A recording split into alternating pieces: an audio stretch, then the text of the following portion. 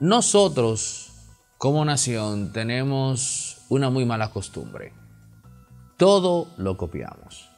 Por ejemplo, yo no sé quién fue que le dijo al fenecido Peña Gómez la campaña aquella, primero la gente, eslogan que tocaba eh, en el ámbito de lo humano, pero resulta que ese es el eslogan que utilizó en la campaña presidencial de 1991-1992 el presidente Bill Clinton, People First.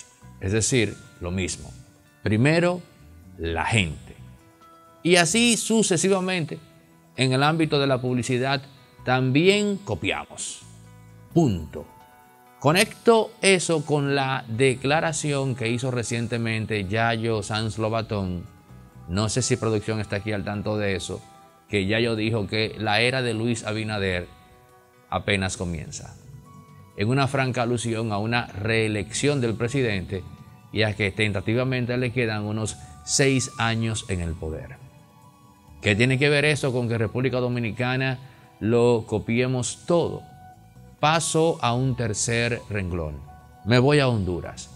Allí, el país como tal no lo sabe, o sea, lo que voy a decir ahora en Honduras no se sabe.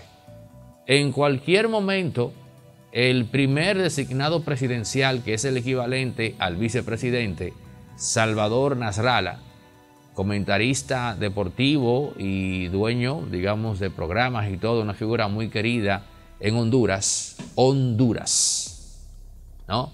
Salvador Nasralla, vicepresidente o el equivalente a eh, de Xiomara Castro, la esposa de Manuel Zelaya, en cualquier momento sale del gobierno y hace una coalición en la cual volverá a cohabitar con elementos de izquierda que ahora van a renegar de eso.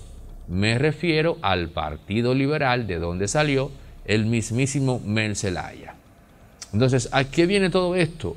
¿Y a qué viene eso de que en República Dominicana se copia? Bueno, viene a que al mismo tiempo que ya la reelección comienza a tener rostro visible, en esa misma línea se está hablando de una gran coalición.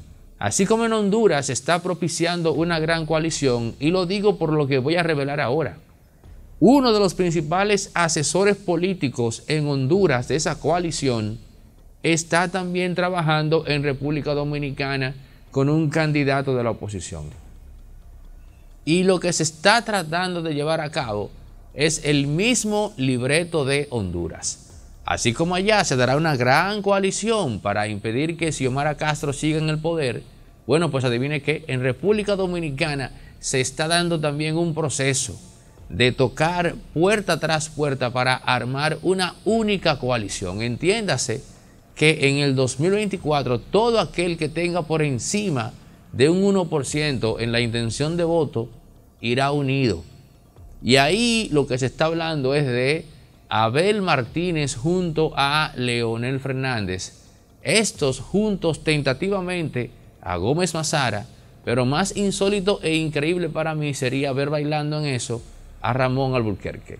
Con toda seguridad, el ingeniero Alburquerque sería más proclive a decir no a esto que el mismo doctor Gómez Mazara. No por un asunto de que uno esté buscando y otro no, sino porque me da la impresión de que en términos políticos, Gómez Mazara es en efecto más pragmático que el ingeniero Ramón Alburquerque. Están tratando de copiar la estrategia que se está tratando de, de llevar a cabo en Honduras ahora mismo de esa gran coalición para sacar a los Zelaya del poder. Eso se quiere hacer en República Dominicana. Lo que no me queda claro a mí es quién va a llevar la voz cantante. Si un Abel Martínez o si un Leonel Fernández. ¿Y saben ustedes quién está llevando a cabo o tratando de gestar, de armar esa gran coalición? Ríanse. El mismo que le armó el muñeco económico a Luis Abinader. ¿Saben quién? ¿Saben a quién me estoy refiriendo? A Lisandro Macarrulla. Yo le dije a ustedes que ese asunto no se quedaba así. Y no debería sorprenderles Porque si hay una figura en el ámbito de lo político económico que tiene el peso, el bagaje, la credibilidad para llevar semejante proceso a cabo, ese es precisamente Lisandro Macarrulla, que es una persona bien conectada con Leonel Fernández y que amén de que ha despachado con los vicinis, también hay algo que tenemos que reconocerle. Tiene su propia agenda, tiene sus intereses. Y él como hombre de negocios, hombre de poder, tiene derecho a eso. Porque él no es un mozalbete, él no es un títere de los Vicini como lo han querido pintar. Señores, se comienza a hablar de la reelección ya con más fuerza. Esas declaraciones de Yayo Sanz Lobatón son más que suficientes cuando dice que la época de Luis Abinader apenas está comenzando. Eso viene por ahí, señores. Dicen que cuando el río suena es porque agua trae. Sí, sí, sí, sí. El presidente está en eso. Es cuestión de días, quizás un mes o dos, para que se anuncie la reelección presidencial. Y es por eso que desde ya se está comenzando a fraguar una gran coalición. Y la pregunta del millón que hago, que a muchos les podrá parecer chiste, es, ¿qué pintará Danilo Medina en todo eso? Entiéndase, en esa gran coalición contra Abinader.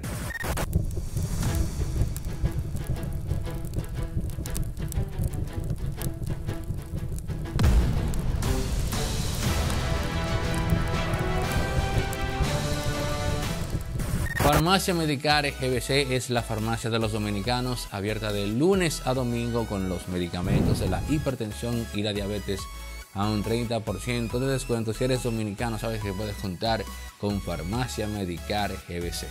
Nadie te hace millonario más fácil que Lote Don, solo pegando cuatro números, los del Agarra 4, invirtiendo solo 20 pesitos, te puedes ganar 25 millones de pesos con el Agarra 4 de Lotedón.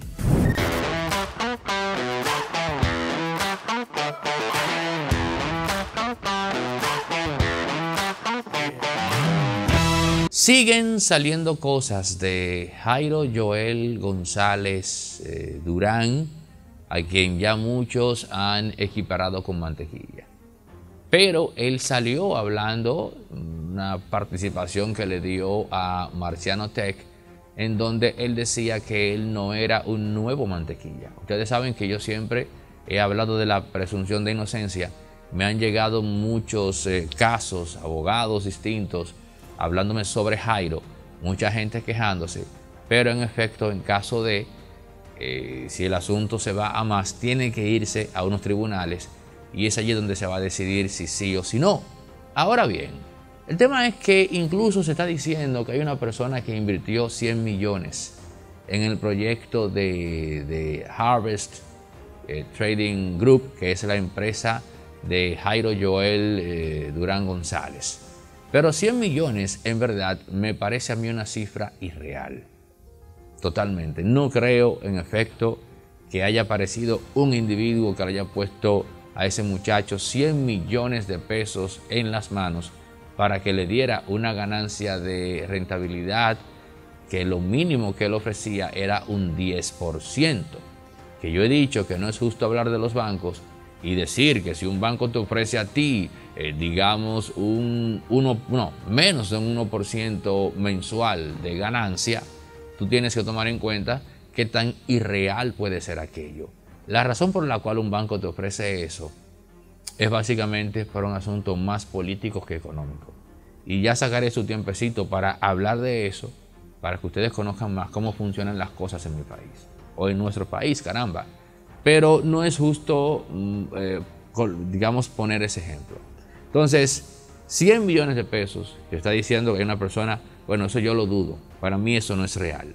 Que él manejó 25 millones de dólares, bueno, ya eso me parece más creíble en el sentido de que, caramba, él captaba el dinero en dólares. Y yo conozco casos de, gente que le puso en las manos 200 mil dólares a él. Otros le pusieron 50 mil. A mí me llegaron por lo menos 10 casos y en esos 10 casos yo contabilicé, y esto no es exagerando, ¿eh? contabilizamos alrededor de unos 450 mil dólares en apenas 10, 11 casos. Gente eh, que le dio 150 eh, mil dólares, ingenieros. Ingenieros que querían, digamos, capitalizarse rápido. Ese era eh, sobre todo el blanco de personas que invertía en el modelo de negocio de Jairo, que con toda seguridad no era mantequilla porque él fue más brillante que mantequilla, porque él tenía o tiene, imagino, no sé si aún está operando, una academia en la cual él enseña supuestamente a la gente a invertir en cripto, divisas, en el mercado de Forex, eh, criptomonedas más bien, corrijo, el, el mercado de Forex, que es el mercado de divisas, y en la bolsa de valores. Se supone que las personas cuando pasan por ahí terminan ya teniendo conocimiento para invertir eh, por cuenta propia.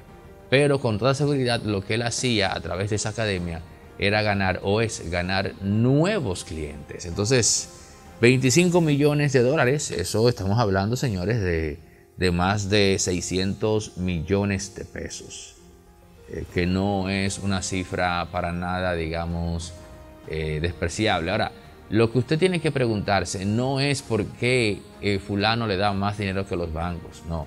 Lo que usted tiene que preguntarse cuando le presentan un modelo de negocio en esa línea es lo siguiente, ok, él me está dando a mí un 10%, que a final de año representa un 120%. ¿Dónde está la ganancia de él si de lo que yo le voy a dar, él me va a hacer retornar a mí más del 100% de mi capital? Esa es la pregunta clave. ¿Dónde está la ganancia de él? Como la respuesta es tan pero tan difícil de obtener, usted tiene que concluir en lo inmediato que si no hay una ganancia visible para él, pues la única ganancia de manera indefectible es que él termine apropiándose de su dinero. No caiga en ese gancho de que fulano, porque cuando usted agarra y compara lo que le ofrece él versus cualquier otro tipo de inversión, usted se está yendo por lo superficial y dice, es rentable. No, pregúntese, bacano, monstruo, ¿dónde está tu ganancia? ¿Cómo es que tú ganas dinero con eso si a mí tú me estás retornando el 120% de lo que yo invertí? ¿No?